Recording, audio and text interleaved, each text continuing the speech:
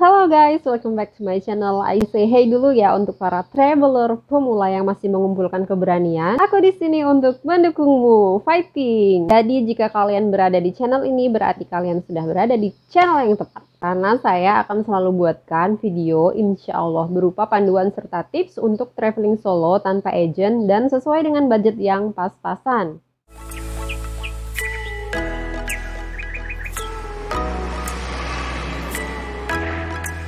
So banyak sekali pertanyaan yang masuk tentang penerbangan transit termasuk ketika saya masih uh, seorang newbie atau traveler pemula yang masih baru belajar untuk traveling itu saya pasti akan kepikiran bingung gitu ya bagaimana sih penerbangan transit? Apa sih penerbangan transit? Penerbangan transit itu kan beda dengan penerbangan yang uh, direct flight atau penerbangan langsung. Banyak sekali pikiran kayak oh gimana kalau nanti saya ketinggalan pesawat? Gimana kalau misalnya bagasi hilang? Banyak sekali pikiran yang ada di sini temu-temu gitu ya. Ini video don't worry saya akan jelaskan step by stepnya jika kalian ingin transit di penerbangan internasional Penerbangan transit adalah penerbangan pindah atau ganti pesawat. Uh, penerbangan transit ini biasanya dipilih karena harga tiketnya lebih murah. Jadi bisa kalian banding-bandingkan saja teman-teman direct flight dengan transit flight itu biasanya lebih murah uh, transit flight. Nah, ini salah satu tips yang sangat berguna untuk para budget traveler yang ingin menghemat ongkos trip. Memang agak-agak sedikit uh, lama, tapi nggak begitu ribet. Dan selisihnya itu lumayan loh teman-teman. Bisa satu juta, dua jutaan gitu untuk direct flight dan transit flight. Ada beberapa jenis transit yang perlu kalian ketahui. Jadi yang pertama adalah transit dengan maskapai yang sama. Dan yang kedua adalah transit beda maskapai. Dan saya belum pernah mengalami ya untuk transit yang beda maskapai karena saya sudah membayangkan kayak lebih ribet gitu ya kalau maskapainya beda misalnya kayak gini uh, saya berangkat dari Jakarta transit di Dubai uh, penerbangan akhir Istanbul. Itu sama-sama pakai Emirates berarti dia maskapai ya. Tapi kalau beda maskapai itu nanti uh, jenis pesawatnya beda gitu. Misalnya saya naik Emirates terus nanti ganti lagi uh, menjadi pesawat Etihad kayak gitu. Nah untuk transit yang maskapainya sama ini akan lebih mudah. Di pengalaman saya uh, dengan yang saya baca di artikel itu agak sedikit berbeda. Ketika saya baca artikel itu kayaknya kok ribet ya. Harus check in, harus lapor, harus ke counter transfer dan ternyata tidak, seperti itu. Jadi saya jelasin ya teman-teman. Jadi gini, misalnya saya akan berangkat dari Jakarta transit Dubai untuk pergi ke Istanbul, Turki. Nah, jadi ketika saya ke check-in counter Emirates, saya naiknya Emirates, waktu di Jakarta, maka saya akan dapat dua tiket. Tiket pertama adalah Jakarta Dubai, tiket kedua adalah Dubai Istanbul. Nah, jadi penerbangan yang saya akan tempuh adalah penerbangan Jakarta Dubai. Jadi itu yang harus kita perhatikan. Cek di papan informasi juga kita lihatnya yang itu Jakarta Dubai ya. Oke. Jadi sudah uh, kita naik pesawat, sudah dicek tiketnya, lalu kita turun. Ketika kita sampai ke Bandara Dubai, kita turun dari pesawat, langsung saja kalian lihat untuk papan pengumuman ya atau label yang ada label tulisan transit atau transfer atau connection flight. Itu artinya sama aja, sama-sama transit. Pokoknya terus jalan aja ikuti, ikuti itu yang ada papan uh, labelnya itu. Dan ketika menuju ke sebuah ruangan, kalian masuklah ke ruangan itu yang ada tulisan transitnya.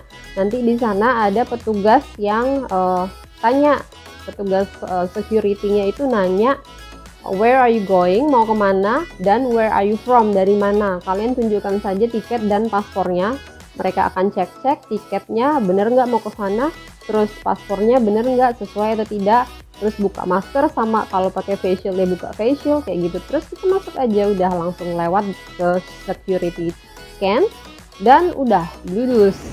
Kita akan masuk ke bandara tempat kita akan transit atau tinggal gitu di lobby ya bisa juga jalan-jalan di situ kalian bisa cek uh, contoh transitnya di panduan transit Dubai video saya yang sebelumnya itu kalau misalnya kalian bawa bagasi kalian juga tidak perlu mengambil bagasi kalian jadi bagasinya itu akan diambil nanti di negara tujuan yaitu tujuan akhir saya Istanbul ya. Berarti saya ambil bagasinya ya di Istanbul gitu. Jika kalian ragu-ragu harus tanya ya untuk make sure kalian bisa tanya ke petugas transitnya. Jadi kayak pengalaman saya transit pertama kali dulu adalah penerbangan Jakarta Kuala Lumpur Kuala Lumpur Seoul South Korea ya.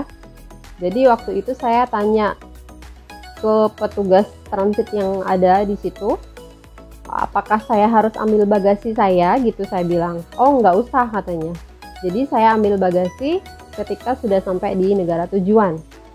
Nah itu enaknya fly through sekarang ya. Nggak usah. Harus lapor yang ke petugas transit itu enggak jadi kalian tinggal kalau sudah nemuin ruangan yang tulisannya transit kalian masuk terus ditanya where are you going? I'm going to uh, Turki Where are you from? I'm from Indonesia. Mereka cek tiket, mereka cek paspor, sudah lewat. Nah, sekarang masuk ya. Ketika sudah masuk ke bandara, itu kan ada yang jeda transitnya lama banget ya. Saya waktu di Dubai jeda transitnya 12 jam.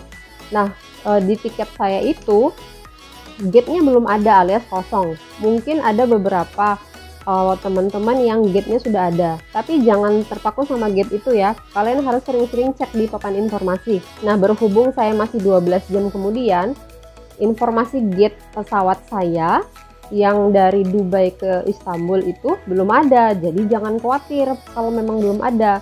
Nanti muncul kalau sudah uh, sekitar 4 jam, 3 jam itu akan muncul informasi gate, nomor pesawat dan tujuan uh, Dubai, Istanbul.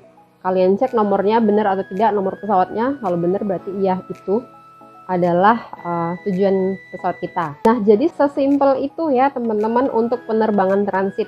Nah, untuk syarat-syarat transit kalian bisa cek di website imigrasi atau website maskapai yang akan kalian naiki. Biasanya di situ sudah ada uh, rule dari penerbangan transit. Dan biasanya penerbangan transit itu akan lebih mudah karena kita tidak masuk ke negara mereka. Jadi tidak ada entry requirement gitu. Kayak syarat masuk ke negara itu kita tidak melalui itu. Uh, mungkin hanya ditanyakan saja paspor. Kalau paspor uh, apakah pakai visa transit atau tidak? Terus tiket ya. Jadi kalau musim pandemi ini mereka juga nggak tanya nggak ngecek. Kayak bukti PCR-nya nggak dicek kartu vaksin segala macam itu nggak berlaku.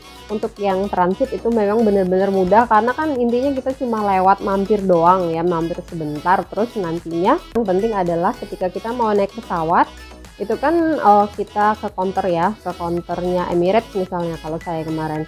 Itu dicek di situ untuk syarat-syarat penerbangan masuk ke negara Turki. Kayak kemarin disyaratkan uh, antigen berarti saya tunjukkan antigen saya tunjukkan uh, paspor saya saya tunjukkan visa kan kemarin masih pakai visa ke Turki sama saya tunjukkan tiket. Oke okay, that's all untuk cara transit. For example contoh dari Jakarta Dubai Dubai Istanbul. Dan penerbangan transit memang rata-rata sama ya teman-teman. Hanya saran saya selalu persiapkan dokumen untuk tujuan ke negara ketiga dan sering-sering cek papan informasi agar tidak ketinggalan pesawat tentunya. Nah yang susah adalah jika kalian transit pakai maskapai yang berbeda tapi saran dari saya untuk traveler pemula jangan coba-coba untuk ngambil maskapai yang berbeda ya karena akan ribet nanti kalian akan bingung. Uh, kalian harus turun ambil bagasi terus akan check in lagi misalnya maskapainya beda terminal itu akan lebih ribet lagi kalian akan misalnya pindah dari terminal 1 ke terminal 2 itu kalau nggak ngerti caranya akan menyita banyak waktu. Jadi kalau untuk maskap untuk transit yang beda maskapai itu harus persiapkan waktu sebanyak-banyaknya alias jeda transit yang lama agar kalian tidak terburu-buru dan kalian juga harus sigap. Dan untuk traveler pemula saran saya adalah sering-sering bertanya nggak perlu malu karena siapa lagi kalau nggak mereka yang kita tanya ya. Kita, kita kan di situ tamu kita kan di situ pendatang. Dan kalau kita pun nggak tahu apa-apa itu wajar karena kita turis. Jadi kalau misalnya kalian minim informasi ya tanya, tanya siapa aja, terutama pada security atau petugas yang ada di bandara. And it's okay, nggak usah malu-malu. Karena kalau malu bertanya sesat di jalan itu sudah pasti. Karena apa? Karena regulasi di negara orang itu berbeda. you have questions untuk beberapa pertanyaan terkait penerbangan transit bisa kalian uh, ketik saja di komen insya Allah saya jawab kalau misalnya saya nggak sibuk ataupun saya bisa sejawab saya jawab. Terus kalau misalnya kalian butuh informasi yang lain boleh uh, ditulis di komen saja. Kalian mau buat, dibuatin video apa sometimes saya juga ngeblank ya membuat video apa. So thanks for watching ya untuk newbie atau traveler pemula. Semangat! Bye